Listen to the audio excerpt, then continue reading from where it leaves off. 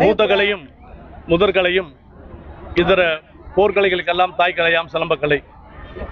நம்முடைய நாட்டின் பாரம்பரிய விளையாட்டுக்கான சிலம்ப விளையாட்டை போட்டி காக்கும் நல்ல நோக்கத்தோடு தமிழ்நாடு சிலம்ப கழகத்தின் சார்பாக இந்த மாபெரும் சிலம்ப ஆசான்கள் மற்றும் மாணவருடைய ஒருங்கிணைந்த சிலம்ப நிகழ்ச்சி. அதாவது ரெண்டாயிரத்தி இருபத்தி மூணு மாணவர்கள் கொண்டு ஒரு சிலம்ப விழிப்புணர்வு நாங்கள் வந்து நம்ம தமிழ்நாடு சிலம்ப கழகம் சார்பாக நாங்கள் வந்து அரசுக்கு தெரியப்படுத்தியிருக்கோம்.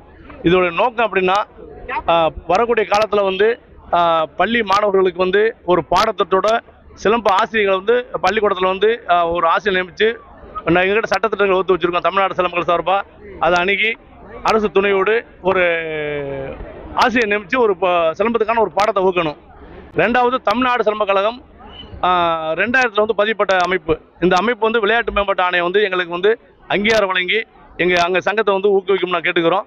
முன்னாடி முதலமைச்சர் ரெண்டாயிரத்தி ஏழில் வந்து குமரி முதல் கோட்டை வரை சைக்கிள் விழிப்புணர்வு பயணம் நூற்றுக்கும் மேற்பட்ட மாணவர்களோடு ஆசான்களோடு ஒரு சைக்கிள் பயணம் வந்து நாங்கள் கலைஞர் ஐயா கூட வந்து மனு கொடுத்துருக்கோம்.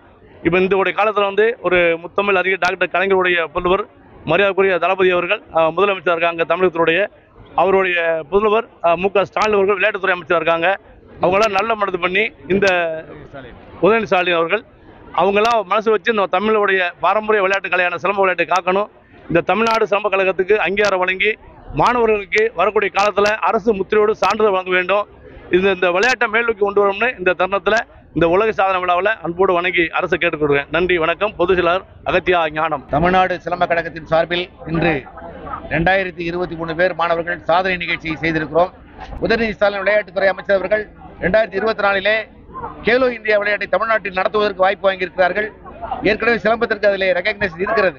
தமிழ்நாட்டிலே செய்யும் போது சிலம்பத்திற்கு முக்கிய வாய்ப்பை தந்து இந்தியாவில் உள்ள அனைத்து மாநிலத்து வீரர்களும் சிலம்பம் செய்ய கேலோ இந்தியாவில் வாய்ப்பு தர வேண்டும் என்று இந்த சங்கம் சார்பில் கேட்டுக்கொள்கிறோம். உடனுக்குடன் செய்திகளை அறிந்து கொள்ள ஐஎஃப் தமிழ் பெல் ஐக்கனை கிளிக் செய்யுங்கள்.